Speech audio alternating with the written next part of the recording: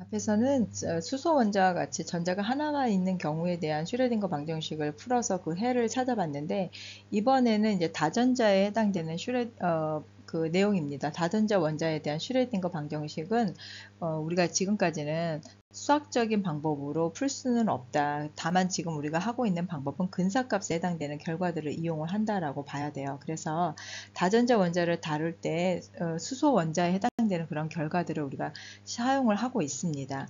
그래서 수소 원자에서 주양자 수가 궤도 에너지 함수를 결정하지만 다전자의 경우에는 이것뿐만 아니라 L까지도 즉그 가군동량 양자수도 궤도함수에 영향을 준다라는 얘기죠. 그래서 수소원자 같은 경우에는 주양자수가 1이거나 2거나 어, S건 P건 간에 동일한 에너지를 가졌다라고 한다면 어, 다전자 같은 경우에는 이제 S보다는 P 오비탈의 에너지가 높은 식으로 이렇게 표현을 해야 된다. 그래서 결국은 가군동량 양자수에 영향을 받는다라고 이제 표현을 합니다. 그래서 음, 다전자 원자의 경우에는 주양자 수가 동일하다 할지라도 궤도함수의 에너지가 서로 같지 않게 된다라는 부분이죠. 그래서 궤도 각운동량 양자수가 커지면서 조금씩 더 높아지는 그런 부분들을 살펴볼 수가 있습니다.